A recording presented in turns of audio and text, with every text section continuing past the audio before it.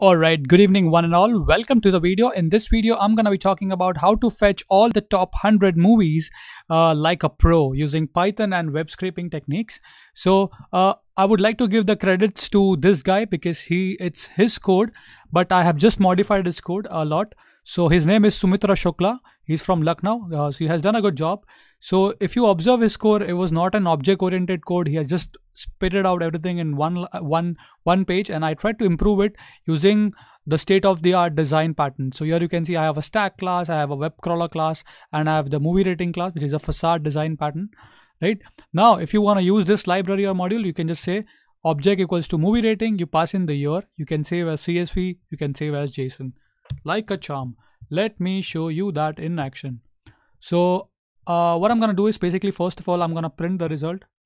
So you can see that in action. Oops, why my, my, this is not working. Okay. All right. So I'm going to say print obj dot, uh, what was the name? Print data.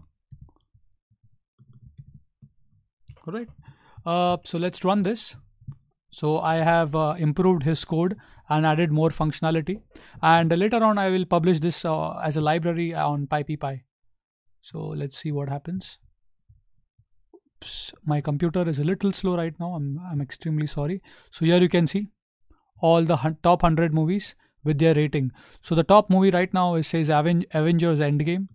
And you have a nice CSV also. You can do machine learning on this. You can do of course run a machine learning model to predict or you know learn what are the good movies from that i mean so on.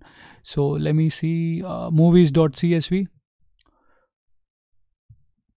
and it should open now and here you see all the movies like a pro so this is just amazing. I i what i do is basically guys i i read people's code on github. So here you can see not too good but then i develop it using the state of the art design patterns and object oriented so i basically try to improve other people code and uh, by doing that i actually am improving my own python skills you know. So that's it for this video. The code is there in the description section below so make sure to check that out uh, download it, play it, modify it, and do whatever you want. So once again, thank you for your love and support and see you guys in the next video.